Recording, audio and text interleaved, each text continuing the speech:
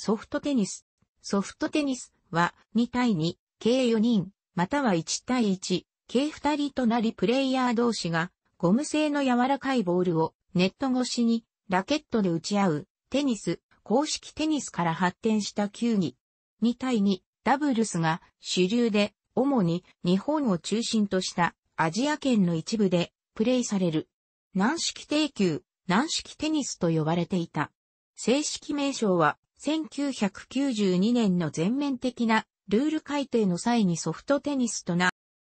ソフトテニスは日本を中心とした東アジア、韓国、台湾、中国、モンゴルなどで主に競技される。公式テニスと同サイズのコートを使用し、似た形状の道具を用いるが、ほぼダブルス中心の競技として発展してきたのが、ラケットスポーツとしては得意な点である。ダブルス中心での発展の過程で、ポジションの専門性が高くなったが、近年、オールラウンドプレーが主に海外から流入し、多様化が進んでいる。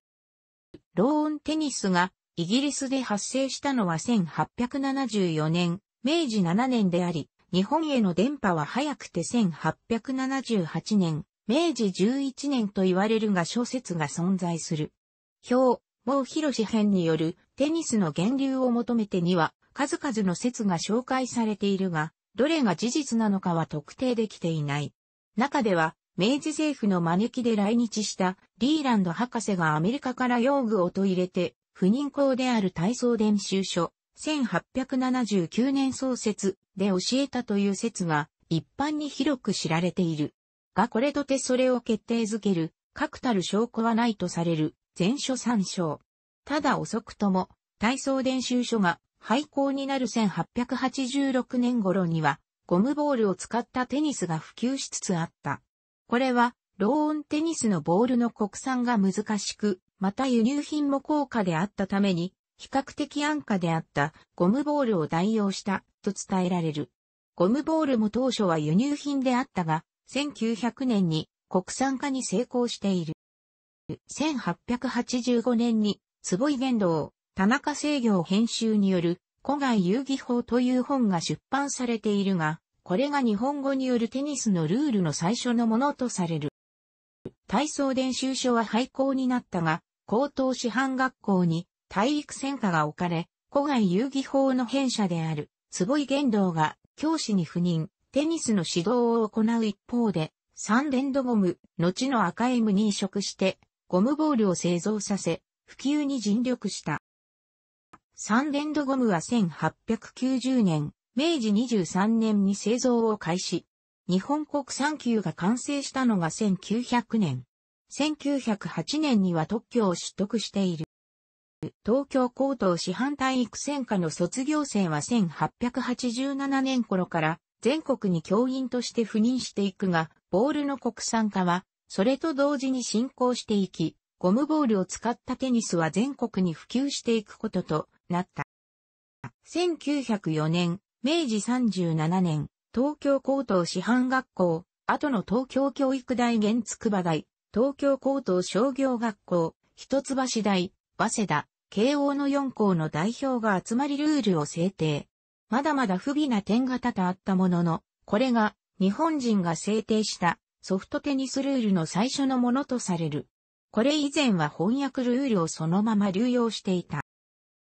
1970年代、軟式テニスは中、高校では最も人気のあるスポーツであるとされていた。現在は日本において約60万人の競技人口、登録者と推定700万人の愛好者がいると、日本ソフトテニ連盟は主張している。しかしながら、一般的にも愛好者の意識の中でもマイナー感が極めて強いのもまた事実である。原因としては、オリンピック種目ではないこと、日本国内にプロ選手が存在しないこと、学校体育、中学、高校が中心であると認識されていること、1980年代から急速に大衆化したテニス、公式テニス、ローンテニスの影響等が考えられる。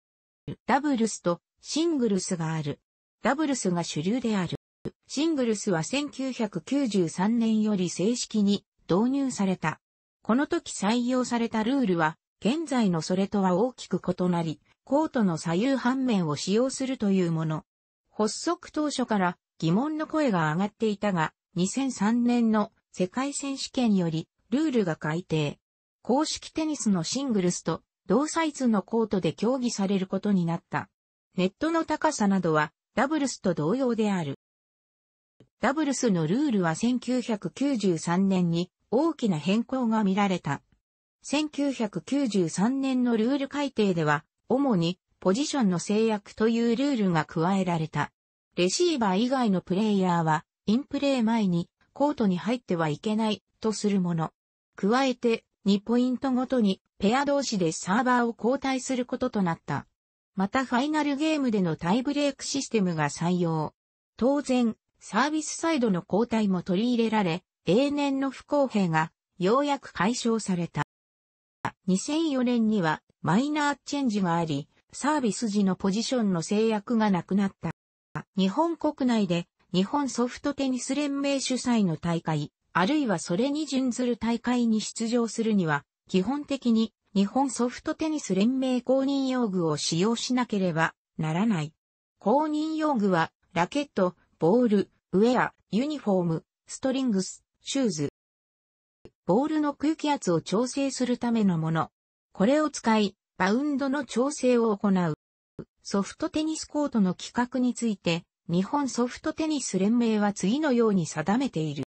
楽しくご覧になりましたら、購読と良いです。クリックしてください。